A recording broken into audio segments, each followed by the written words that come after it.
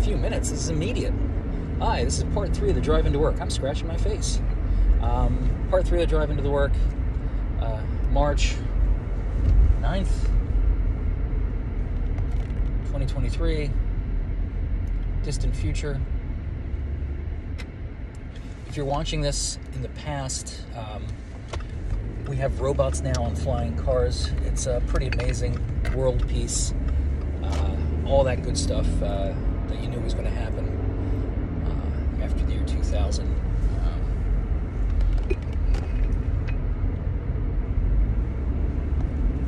when Y2K hit, uh, it destroyed all computers. Uh, we now live in a computerless society.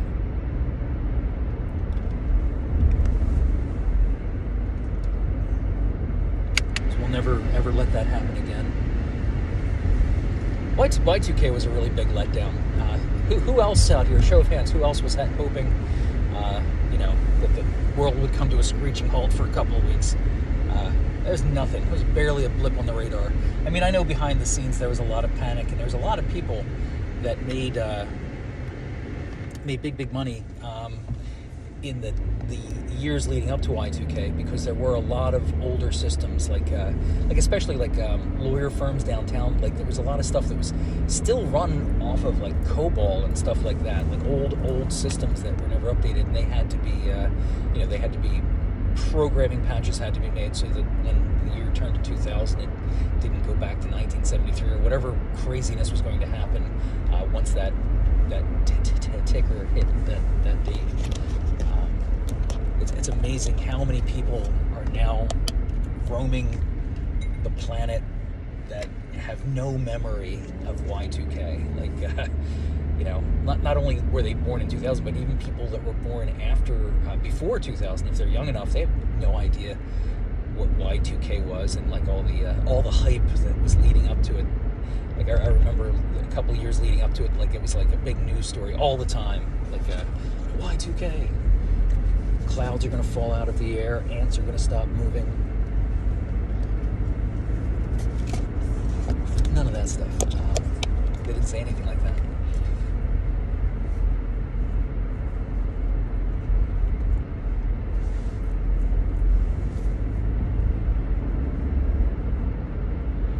There's another one. Um, I don't know if it's Linux or.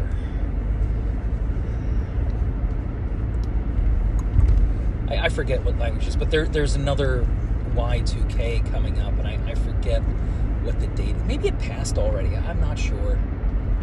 There's another operating system that has this weird um, date issue, um, but I, I'm sure it, it was a news story like a couple years ago. It, it's probably everything's been patched.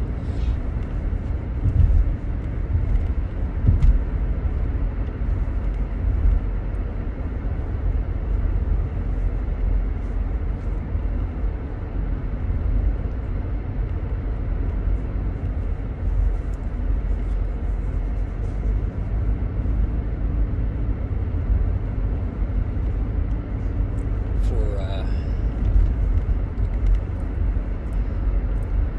I hate that these things are vagaries. Like, I, I why can't I remember the detail? Um, I hate the fact that I'm going to have to look it up now. It's like I should I should know this. This is uh, it's actually computers and things just like one of the things I'm interested in. I can't believe I can't remember what operating system or what date it is that there's the uh, new Y2K. Downright embarrassing it is.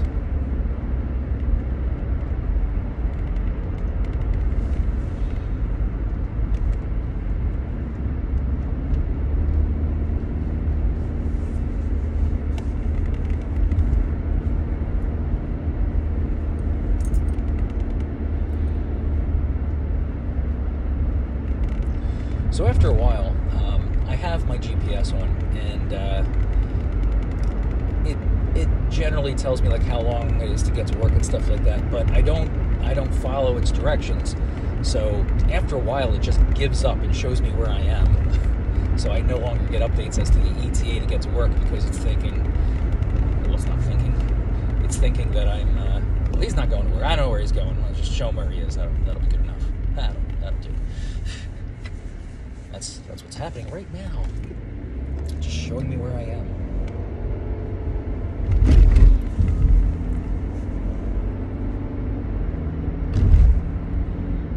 Wherever you go, there you are.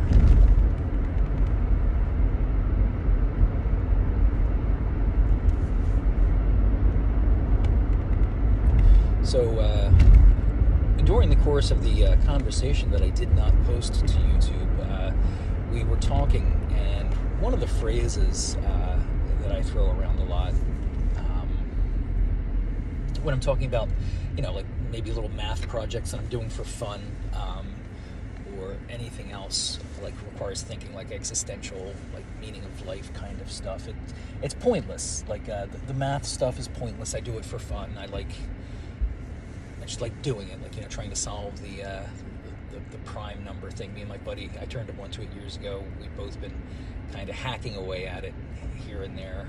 Um, and uh, a phrase like I throw around casually is I, I call those kind of activities mental masturbation, and I didn't really put a lot of thought into um, how how that's. Uh, probably not the best phrase to use, especially around youths. So um, I, uh, I started compiling a list of alternatives uh, to mental masturbation, like uh, mental musing, uh, I'm sorry, merry musing, um, and uh, I, I, I, threw up quite a few others. Um, I'm not going to list them all now, but uh, try, trying to think of the best best one to start using instead of the the old one.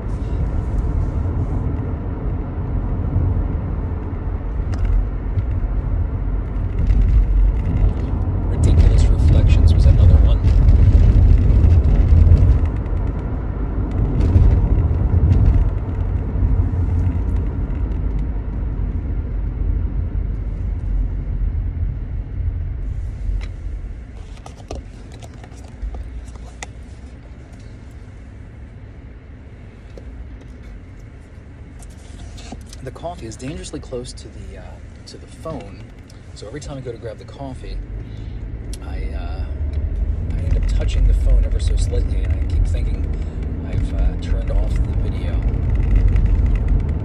which I have not done yet.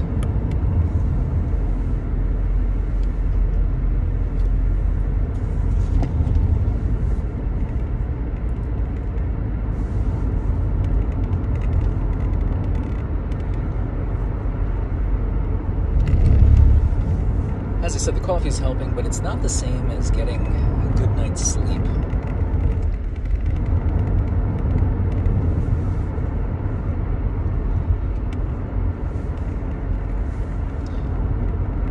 What's even worse is like, uh, like I'm not remote today, so like I'm gonna get up extra early and drive in. So would have been nice. Like it would be nice if I tra- treated myself better and got to bed at a reasonable hour days when I have to drive into work.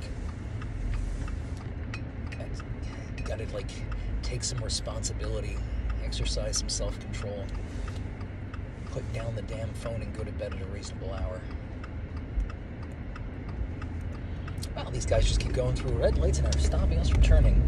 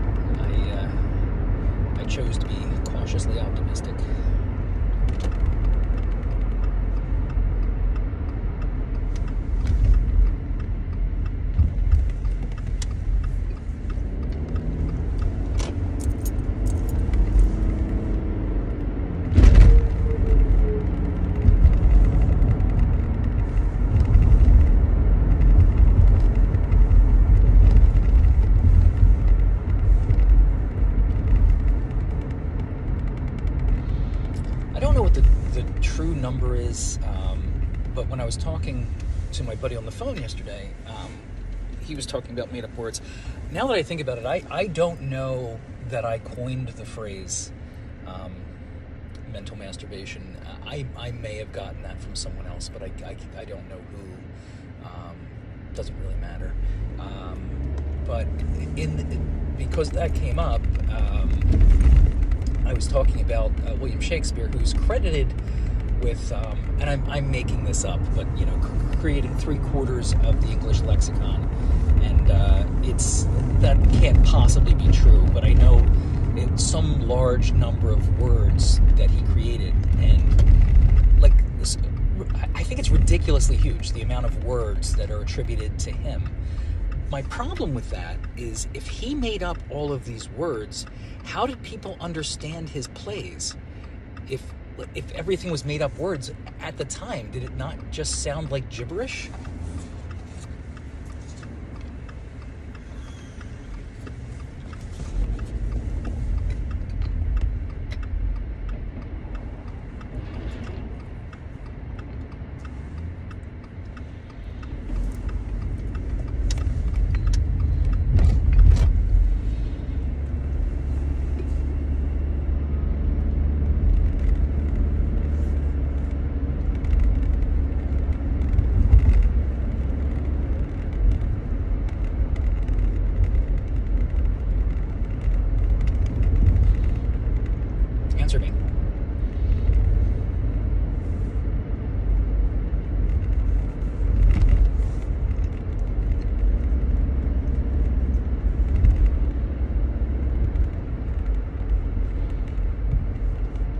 Say this is part three of the ride into work, 2023, blah, blah, blah? I think I did. Yeah, maybe. I can't remember if this is part three or part two. It must be part three.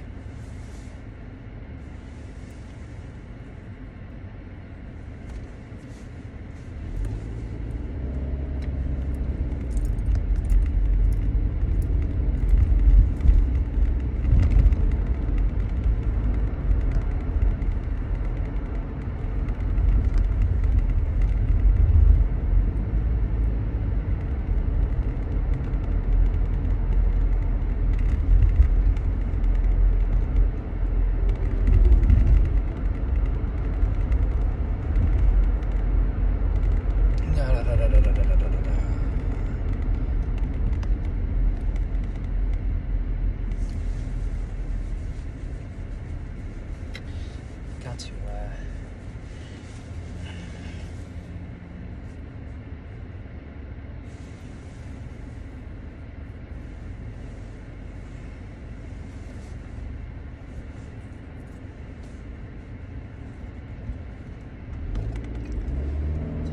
start a sentence and just not finish it.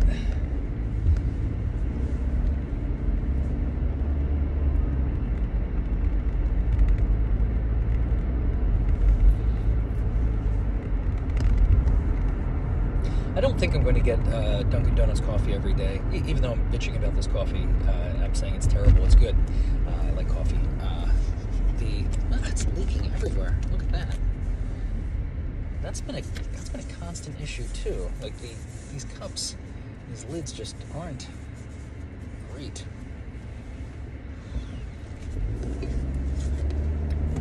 Anyway, three seventeen or whatever ridiculous amount they charge for a cup of coffee is uh, that's unsustainable. I can't I can't wrap my head around spending that much on coffee every day.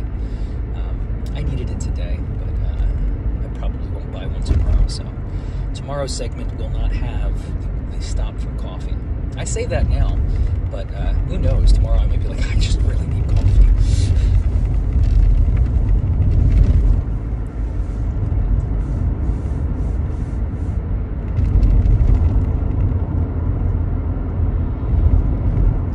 The um, I think I was talking about this in another video. I, have got some time to fill, so I'll go on about it again. Um, like p- politically, uh, the, the, the, we're as a nation, we're, get, we're getting at least from what I can tell, extremely polarized. At least like in my group of friends, like we're we're all we're all either radically left or radically right. There is no there is no middle ground. There is no there is no compromise. Um, like you, you, if, if if you're a Democrat, you absolutely loathe Republicans and you blame them for all the evils in the world, and the same is true of Republicans blaming Democrats. It's uh, like it's you just you dehumanize them uh, to a very large degree, uh, back and forth, and it's uh, it's weird. Um, that, that's not my point. My point is um, that it that effect um, it seems to be like media driven, like not just the the news media, like any any content you can get your hands on. Meaning that if you're searching for something the way you search for it drives the results that you get. So, uh, an example is like I said, I, I started recently, relatively recently, uh, eating oatmeal for breakfast. Um, within the past few months, uh, maybe longer, uh, I try to like have a nice hot bowl of gruel at work in the morning. Um, and whenever I'm eating something that I think it might be healthy, I'll I'll look it up. I'll say, is oatmeal healthy for you? And like, you know, it'll tell me all the, the benefits of oatmeal, what it does for you, like what it does for your gut health, like how it reduces hunger cravings, how it lowers cholesterol, blah blah blah blah, like all these these great things. And then like there's these uh, these like ad like mini infomercials. Like there's always somebody trying to sell you some kind of diet thing and like avoid these five foods to improve your gut health and blah blah blah and like oh I would never uh, like and you'll hear someone say like I would never recommend oatmeal to anyone like that's not a, not a good food to eat. So instead of searching is oatmeal good for you, if you search for is oatmeal bad for you, uh, you will you will get all the opposite results. You will get what you ask for. So you'll you will get endless pages on what's wrong with oatmeal, uh, what, it, what how it's bad for you, especially if you have certain certain illnesses or sensitivities to types of food. But it, it just it, it, goes on. Um, you know, it's food for horses. It's not for like, and it's just it's funny. Like so, that's that's the point. Like you know, you will find what you're looking for. Like depending on what you're searching for, that's that's the answer you're going to get. Like if you're if you're asking if some like the oatmeal's the example, or you, if you're asking if oatmeal's good, it'll tell you all the ways that it's good. If you ask if oatmeal's bad, it will tell you all the ways that it's bad. And um, depending on which way you search for it, that's that's what you're going to, um, for the most part, believe because everything on the internet is absolutely 100% uh, falsifiably true. It's just uh, carve it in stone. There's no bad information out there. Um, haha.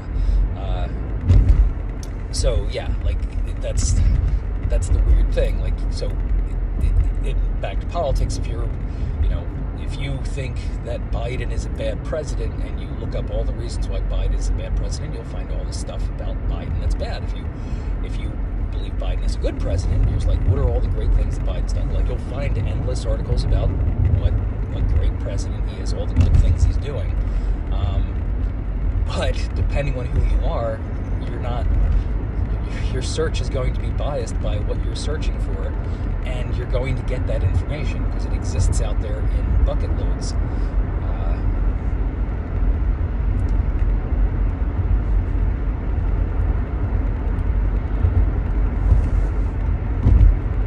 I don't know if there's an actual point that I'm trying to get to, other than the fact that uh, oatmeal made me aware of this. I, I was already aware that um, you know we all live in an echo chamber. Whatever, like just even when it comes down to like I don't I don't want to get metaphysical on your ass, but um, like you know whatever energies you put out there is what reflects back, and it kind of is reflected in that kind of activity.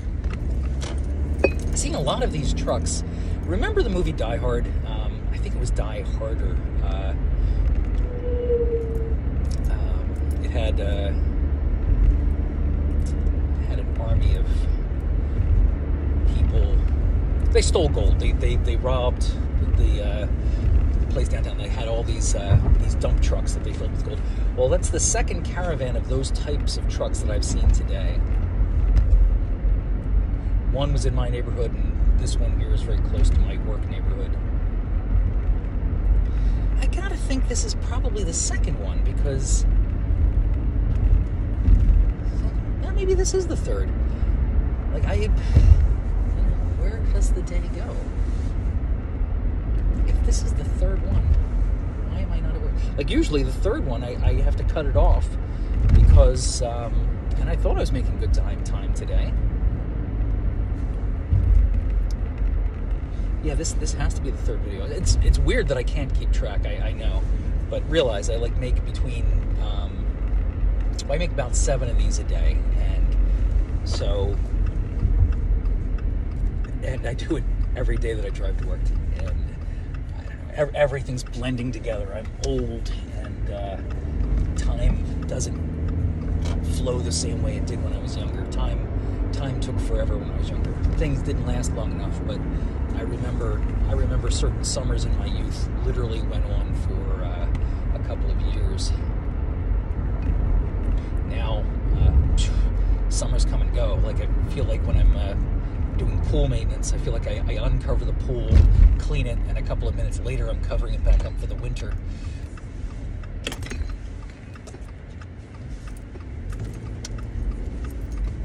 I've got a red light. He's got a red light. Everybody's got a red light.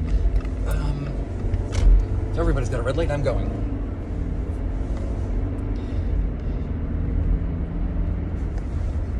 Oddly takes us to the end. We're in the last 20 seconds of the uh, ride to work AM part three.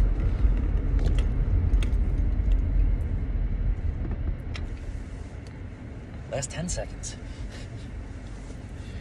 I have nothing to fill the time, so I'm just going to say, have a wonderful day. Where's that button?